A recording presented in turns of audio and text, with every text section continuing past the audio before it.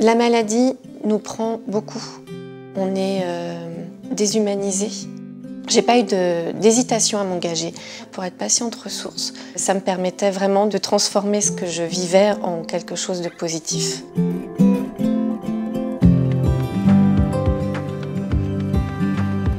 J'ai eu deux cancers du sein. Le premier en 2016. J'ai eu euh, une mastectomie avec euh, une chimiothérapie, radiothérapie.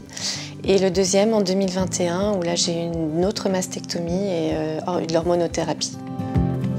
Quand on apprend qu'on est malade, on passe par une période vraiment de, sidération. Et même si on a un entourage qui est très proche, ils n'ont pas forcément réponse à toutes nos questions parce qu'ils n'ont pas forcément traversé la maladie.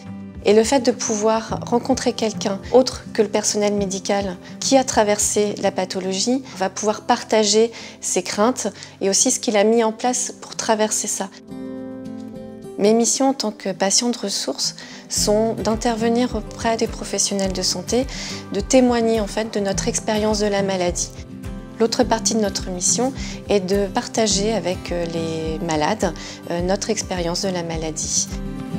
Le fait de partager auprès des futurs professionnels de santé notre vécu de la maladie, ce que l'on est, donne du sens à leur, métier.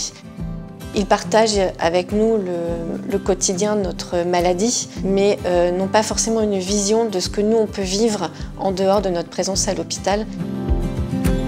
C'est pour moi une façon de, rendre ce que j'ai un petit peu reçu quand j'étais euh, moi-même malade de différentes personnes sans qu'elles se rendent compte exactement de ce qu'elles pouvaient faire.